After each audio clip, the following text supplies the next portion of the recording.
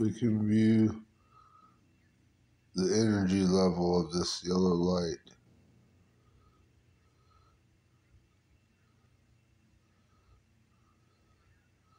Signals relayed. It's measuring air signal.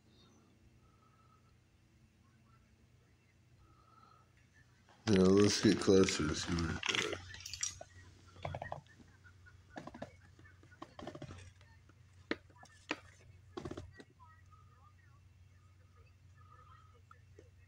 Think that's it. Now let's back up.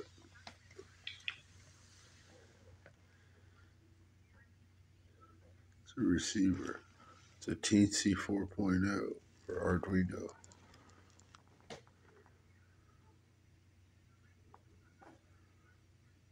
Now let's get halfway.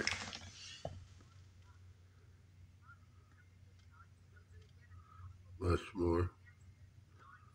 Let's see it really close.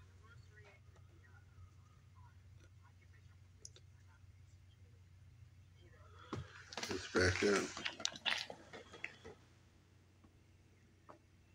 Air signal measure.